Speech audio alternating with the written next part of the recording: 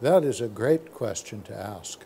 And uh, I would say, ideally, if you can identify a scientific question that you know is important and that is undervalued, even as a stock may be undervalued, and that most people don't really recognize its importance, then you're in a very advantageous situation.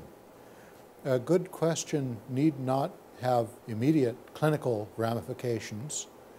Uh, on the contrary, it should open doors uh, in biology, whether they have clinical applications or not, I would say. And it is uh, best if you can foresee that you're addressing something about which people really understand very little. All those ingredients go into making a wonderful question on which to launch one's career.